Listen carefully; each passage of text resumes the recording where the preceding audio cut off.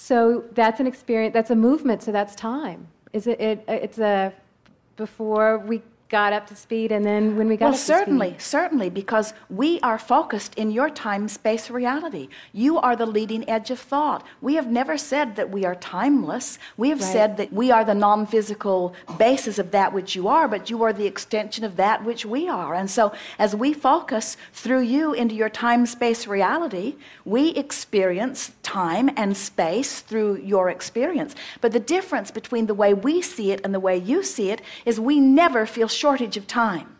And we never feel shortage of space, and we never feel shortage of resources. We see it as a smorgasbord that causes an expansion, not a shrinkage. When someone gets an idea, we don't see it as a using up ideas, we see it as an adding to the pool of ideas.